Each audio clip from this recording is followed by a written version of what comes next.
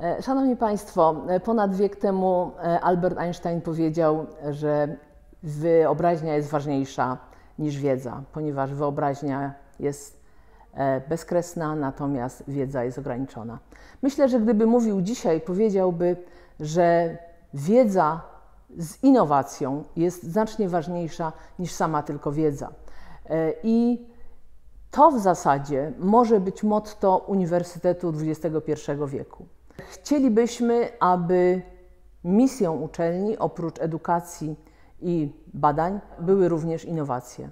E, W tym kierunku podąża nasze działanie, a pani profesor Kujawa ze swoim zespołem właśnie w tych dniach prezentuje na wystawie światowej e, w Dubaju jeden z wynalazków, który powstał na uczelni, a który dotyczy diagnostyki e, i rehabilitacji części szyjnej kręgosłupa.